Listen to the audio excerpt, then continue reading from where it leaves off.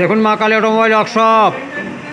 আর এই গভীর রাতে আপনারা দেখতে পাচ্ছেন, কারখানা একদম প্রায় নিশ্চিন্ত অবস্থায় আছে রাত্রিবেলা। আর দেখতে পাচ্ছেন, চিড়ে মেশিন, এটা শালবনি, বাঁকুড়া চলে যাবে।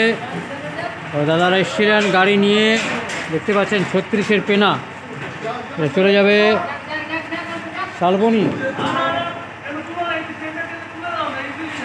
আর এটা ছত্রিশের পেন, শালবনি চলে যাবে। দাদারা গাড়ি নিয়ে এসেছিলেন।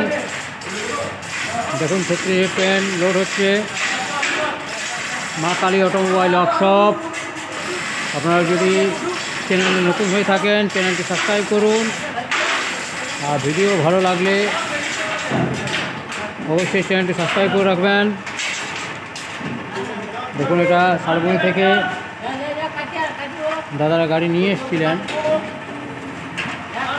দেখতে পাচ্ছেন আমাদের ছত্রিশের পেন।